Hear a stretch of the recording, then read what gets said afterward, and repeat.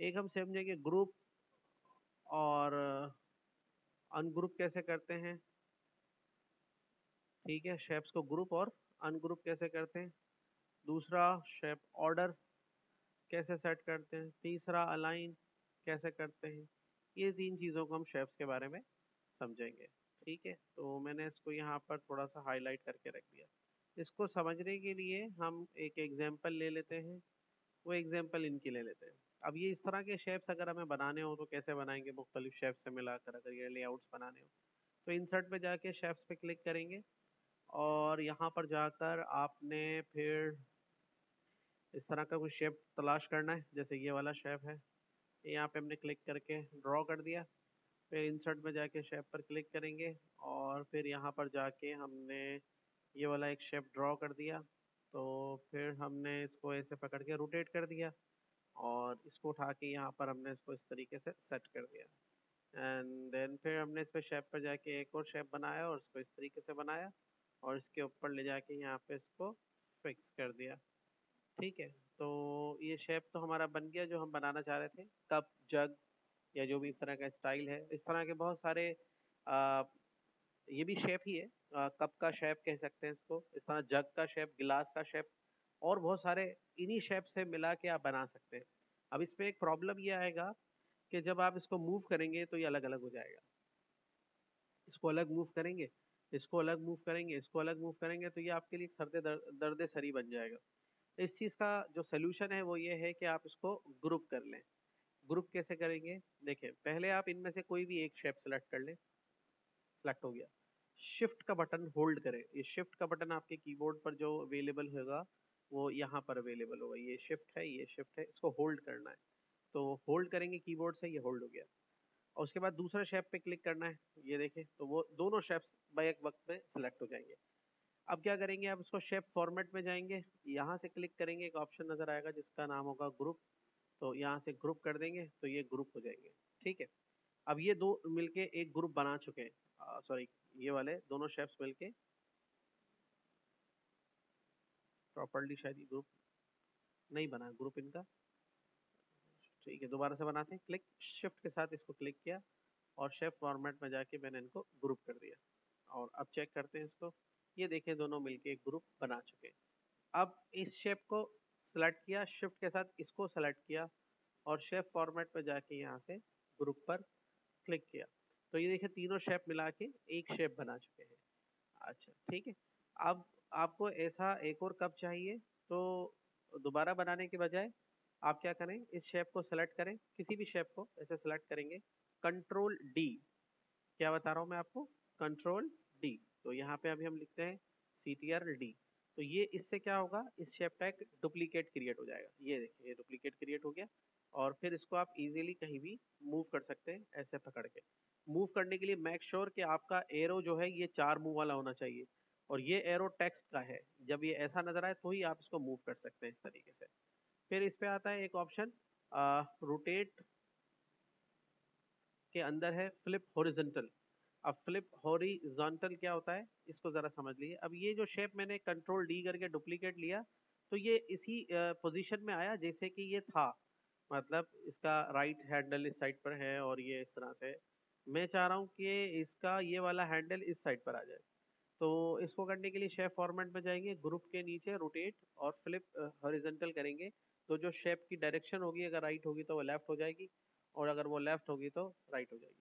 अच्छा अब उसके बाद अगर मिसाल के तौर पे आपको कलर्स चेंज करने हैं तो अगर आप पूरे पे क्लिक करके ऐसे कलर चेंज करेंगे तो ये ओवरऑल कलर चेंज हो रहा है। मैं चाह रहा था अलग अलग कलर चेंज हो।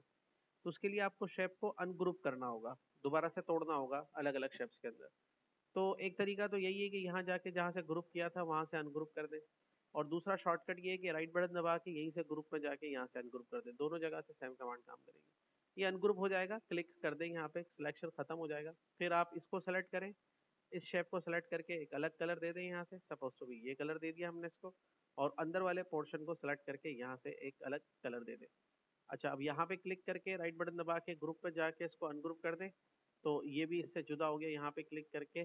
शेप फॉर्मेट में जाके शेप पे जाके यहाँ से इसको ब्लू कलर का हैंडल दे दें। तो ये देखिए, इस तरह का शेप क्रिएट हो गया। अब इस पर क्लिक करें दोबारा से, ये सिलेक्ट हो गया। इसके बाद शिफ्ट के साथ इस पर क्लिक करें और शेप फॉर्मेट में जाके पहले इनको ग्रुप कर लें। फिर इन दोनों पे जो ग्रुप हो गया, क्लिक करें, शिफ्ट के साथ इस पर क्लिक करें शेप फॉर्मेट में जाके इनको भी ग्रुप कर दें। ये इस तरह से हो जाएगा, ठीक है? तो ग्रुप जो है, आप डिफरेंट तरीके से डिफरेंट शेप्स को शिफ्ट के साथ फोल्ड करके कर सकते हैं। अच्छा अब उसके बाद इसके अंदर कुछ टाइप करना है तो उसके लिए आप इंसर्ट में जाएँगे यहाँ वर्ड आर्ट मिलेगा आपको, ये टेक्स्ट बॉक्स टाइप की चीज़ है। इस पर क्लिक के जो भी लिखना है suppose to be good morning लिखना है इसके अंदर हमें तो ये गुड मॉर्निंग हमने इस पर लिख लिया।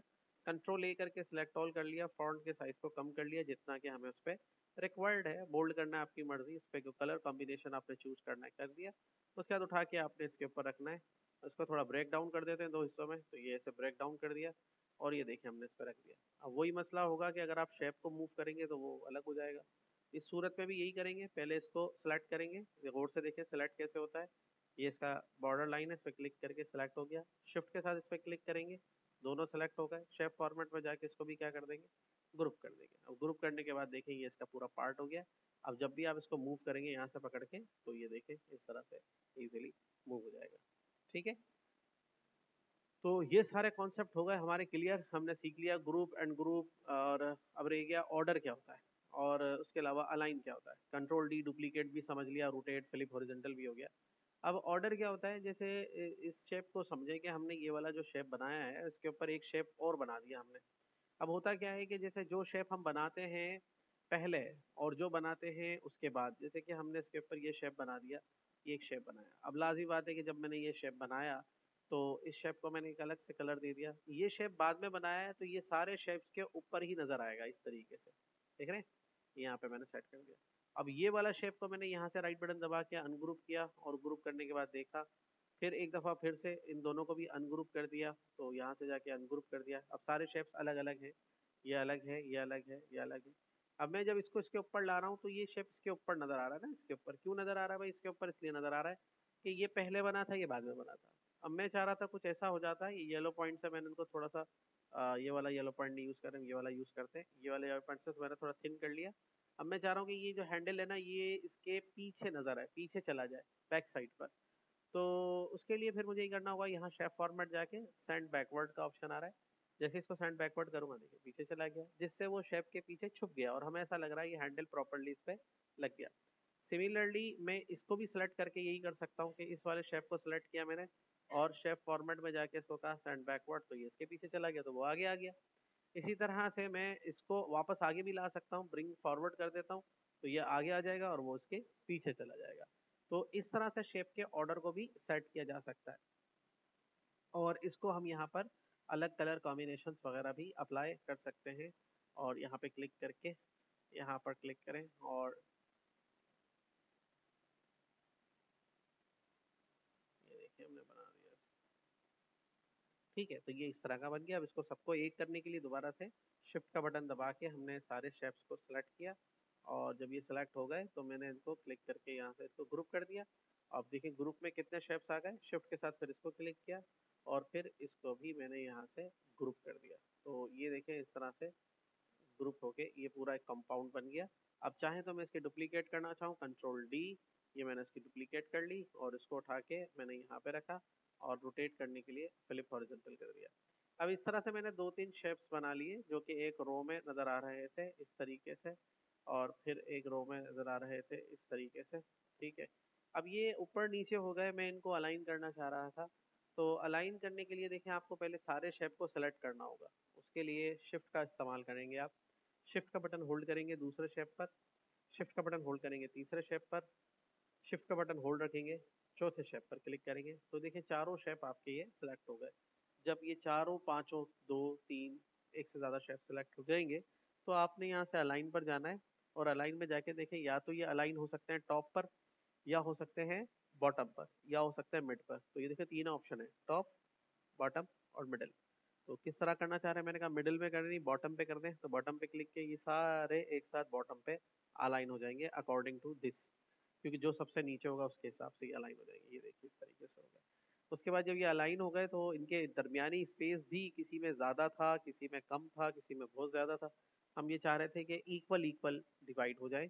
तो यहाँ अलाइन पे ही जाएँगे और देखिए यहाँ एक ऑप्शन आ रहा है। देखिए किस तरतीब में रखे हुए हैं? वन टू थ्री फोर तो देखिए इस पर भी तरतीब ऐसी बनी है। वन टू थ्री तो जैसे डिस्ट्रीब्यूट हॉरिजेंटल पे क्लिक करेंगे तो आप देखेंगे कि इनके दरमियानी गैप भी इक्वल इक्वल डिवाइड हो जाएँगे और ये पूरी तरीके से इक्वल तरीके से डिवाइड होके आपको इस तरह से नज़र आने लग जाएँगे। तो इस तरीके से आप डिफरेंट शेप्स को मिला के ग्रुप करके ऑर्डर सेट करके, उनकी अलाइनमेंट सेट करके डिफरेंट शेप्स और स्टाइल्स बना सकते हैं, जो कि डॉक्यूमेंटेशन में एलिस्ट्रेशन के लिए इस्तेमाल किए जा सकते हैं।